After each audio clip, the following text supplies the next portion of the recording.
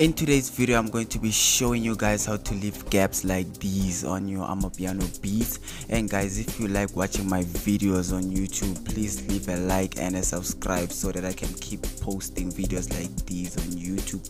Okay guys let's quickly start with this video. Right now i'm gonna load a Zanten project file and then i'm quickly going to show you how to make those cool gaps and cuts okay guys what i'm actually gonna do right now is that i'm gonna go at my left. I'm gonna press these three lines on my left and then i'm gonna press the snap patterns to measures block there and then once you pressed it it'll be gray and then you go back.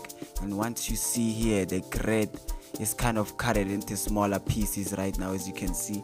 And what i'm gonna do here is that i'm gonna press time on my right side and then I'm gonna go where I wanna cut and then I'll press click there and then after clicking I'm gonna press this button up there and then it's gonna make sure that it's, all selected and it's gonna show these weird lines and then I'm gonna pull back.